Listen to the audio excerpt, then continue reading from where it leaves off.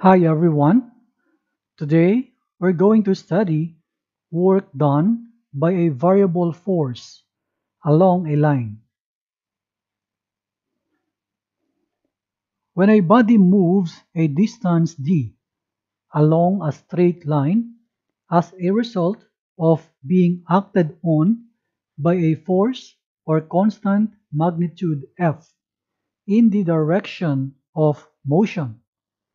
The work W done by the force on the body has the formula work equals force times distance.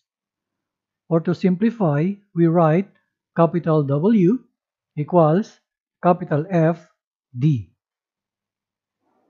The unit of work done is joule. If the force varies along the way, the formula W equals Fd has to be replaced by an integral formula that takes the variation of F into account. The work done by a variable force, capital F of x, directed along the x-axis from x equals a to x equals b is capital W, that is the work, equals the definite integral from a to b of the function capital F of x dx.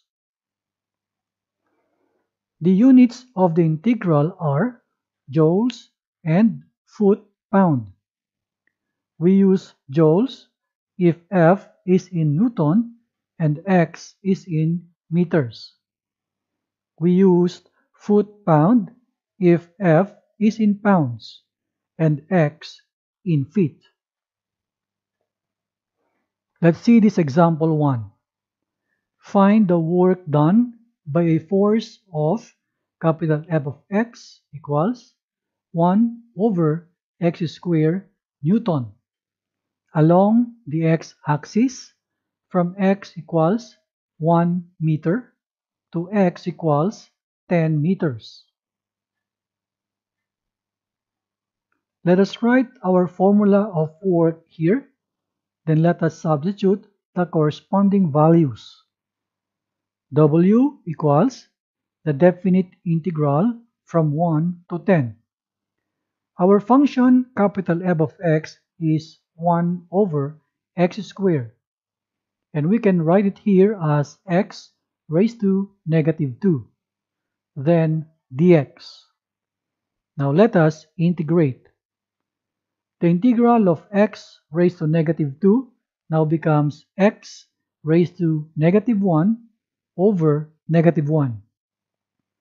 We simplify this into negative 1 over x. And this will be evaluated from 1 to 10. So the next step now is to write negative 1 over 10 minus negative 1 over 1.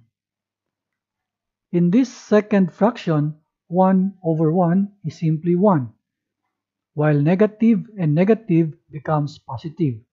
So we write here plus 1. And the sum will give us 9 over 10.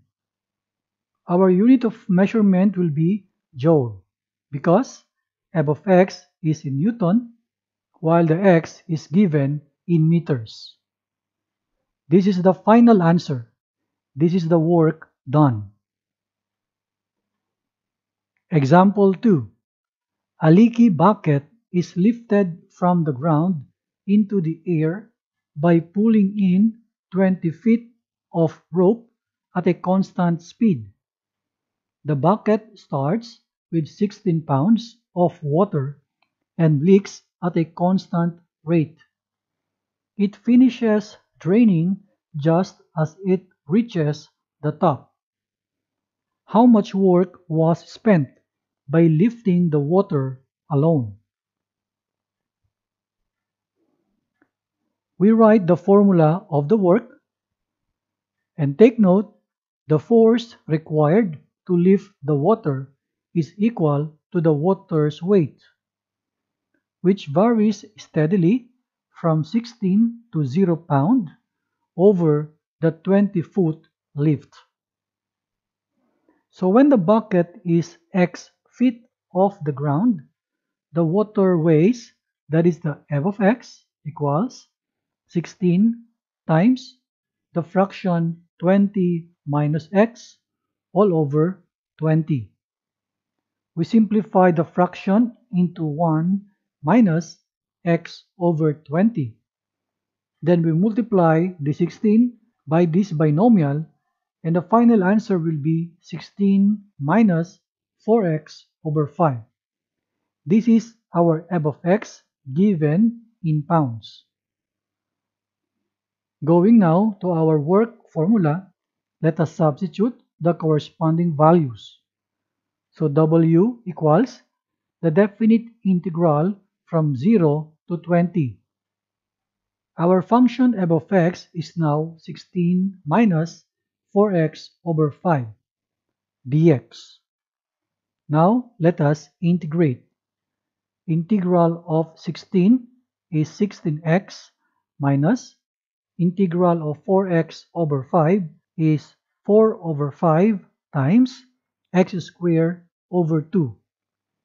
We simplify further and we write 16x minus 2x squared over 5 to be evaluated from 0 to 20. So the next step now is 16 times 20 minus 2 times 20 squared over 5 minus the second group 16 times 0 minus 2 times 0 square over 5. Because of the 0 in the second group, all of this will come to 0. So we can cancel this out. Then let us simplify the first group. 16 times 20 will give 320 minus this fraction can be simplified into 160. And the difference is 160. Our unit of measurement is feet pound. This is the work done. This is the final answer. I hope you learned something from this video. See you again next time.